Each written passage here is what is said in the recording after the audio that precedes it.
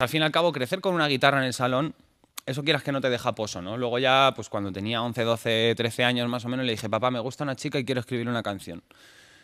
yo soy muy pasional, como dice al principio, y siempre me muevo. Mis impulsos son de ese palo, en plan de, papá, estoy enamorado, ¿vale? Eh, necesito escribir una canción, pero escúchame, eh, no sé dónde poner los dedos. Me dijo, mira, do y la menor. Y dije yo, hostia, está. Y luego escuché una canción de Bob Dylan y dije, oye, papá, este señor me está plagiando. Eh, es un proyecto basado en el amor, básicamente, en la pasión y en el sudor de los pibes que lo llevan a cabo.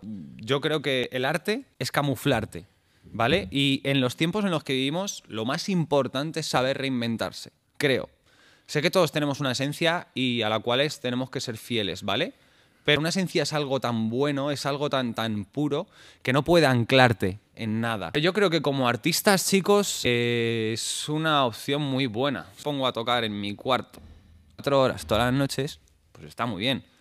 Pero yo me expongo delante de una cámara a tocar en mi cuarto cuatro horas todas las noches y a lo mejor llega alguien y dice, oye, este chaval me cae súper bien creo que me veo en la obligación moral, también sobre todo para los compañeros que vean esta entrevista y que, y que se lo planteen, de que pues si trabajas es muy buena, es muy buena opción. O sea, está eso y, pues salir a la calle a tocar o formar un tributo, etc, etc, etc.